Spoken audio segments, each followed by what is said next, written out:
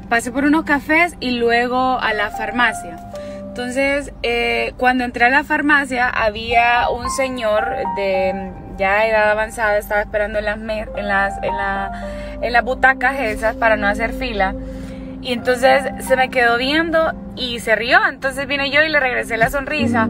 Y luego me dijo, anda haciendo los mismos mandados que yo. Entonces yo le dije, ¿por qué? Entonces me dice, porque la vi en el café. Y yo, ah, ok, mucho gusto, que no sé qué. Entonces seguí esperando en mi fila y no avanzaba tan rápido. Entonces vine yo y me senté a la par de él porque lo vi demasiado simpático. Entonces cuando me siento a la par de él, me empieza a decir, eh, me empieza a preguntar de que a qué me dedico. Yo digo, ah, no me conoce. O sea, me encanta, ¿verdad? Entonces empiezo a entablar una conversación con él y me dice, fíjese que su rostro se me hace muy conocido. Yo dije, ah, sí me conocía, sí me ha visto. Entonces, ven y me dice, hace muchísimos años yo vi una obra de teatro, me dice, donde, quiero llorar. Ah, yo soy súper sensible, o sea, yo, yo no sé por qué estas cosas me, me dan tanta emoción, pero así soy, así soy, marica, y no voy a borrar esto para que vean lo marica que soy. Entonces me dice, hace muchísimo tiempo em, el rostro de esa niña realmente me cambió la perspectiva por muchas cosas, porque era un tema muy difícil, clic, o sea, mi corazón se hizo como clic. Entonces, obviamente, ustedes los que me conocen saben que yo tengo una obra, o tenía una obra que se llama Viste con mi piel. para las personas que no han visto esta obra, esta obra trata de una niña que es abusada sexualmente por el padrastro. Entonces, en este momento eh, yo encontré hermoso preguntarle a una persona que no identifica, o sea, que había identificado mi rostro, pero que no sabía que era yo esa misma niña. Entonces le empecé a preguntar, ¿y por qué le ha cambiado la perspectiva? Porque esas fueron sus primeras palabras. Entonces él me dijo, porque en algún momento de la obra, eh, esa niña había dicho que ella había normalizado todo lo que el padrastro había hecho y entonces cerró, o sea, me dio un discurso y cerró y me dijo, yo en algún momento también fui esa niña. Y entonces yo, o sea, se me hizo un nudo en la garganta, pero en el momento no lloré.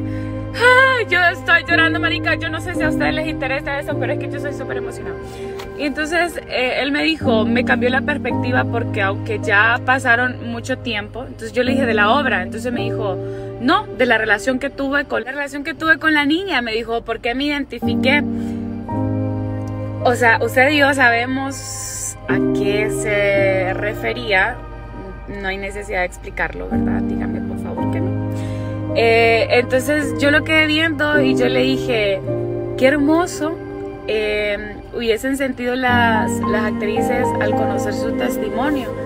Entonces, ah, porque él me había contado anteriormente que, que, que la obra de teatro era eh, eh, al final tenía un foro, pero que él no se había atrevido a hablar porque estaba demasiado eh, confundido, que hasta ese momento había logrado entender que lo que le había pasado, bueno, no me lo explico así, pero que, que había logrado entender que él había normalizado igual que Carlita, que era mi personaje.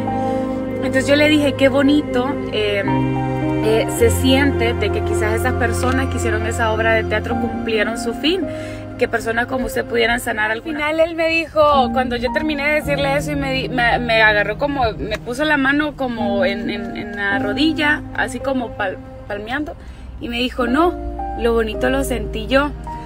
Ay, Dios mío, se me quebró el corazón en ese momento. Después llegó el turno de él y se levantó. Y yo quedé ahí, marica, sintiéndome chiquitita y grande a la vez sin saber qué hacer, o sea, sí sabiendo qué hacer, sabiendo, llorando como siempre, pero súper emocionada. Después él se fue y me dijo, espero tenga bonito día. Ese rostro era el suyo.